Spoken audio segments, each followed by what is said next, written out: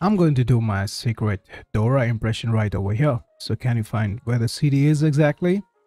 Well, if you guess behind the barrels, you would be right. But were you able to spot him, even though he's not looking down?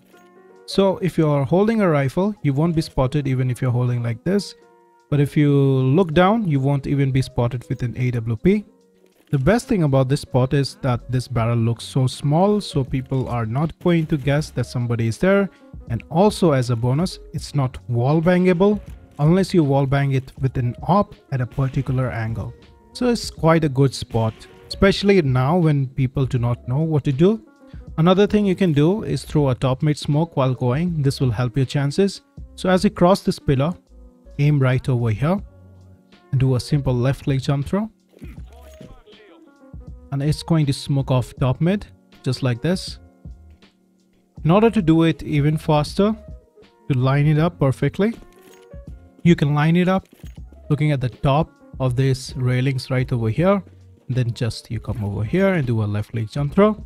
There's another way to throw this smoke while running. I'm going to teach you that as well.